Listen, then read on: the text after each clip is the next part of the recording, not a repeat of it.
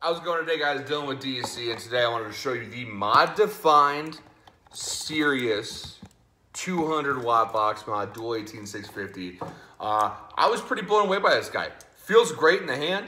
Um, it fits perfectly for that index finger fire. Nice clicky button. Love that click.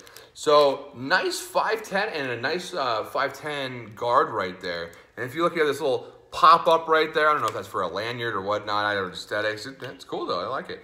Uh, screen is great. It's going to be this nice sideways screen right here. Uh, all your buttons that you're going to need right there. So you have an M button, which is new. That's going to be the mode. So just switch modes instead of having to go through like three clicks, go through all that menu and crap. Just boom, mode, change it. Uh, you're up and down for up and down.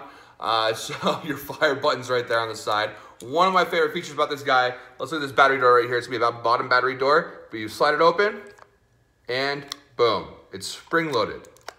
I don't know why I love that so much, but I do. It's also not wiggly. I mean, you got a little bit of give right there, but not a lot. And if you look, you have this lock on there, so it doesn't like to pop off. You know, a lot of some of the older uh, bottom battery mods, they would just kind of pop off right away. Um, 200 watts reads down to a 0.1 resistance. Uh, it runs down to 7 watts, up to 200 watts. As I said, has time control, all the goodies with it. Um, great mod, great price. Come into DEC and check it out today.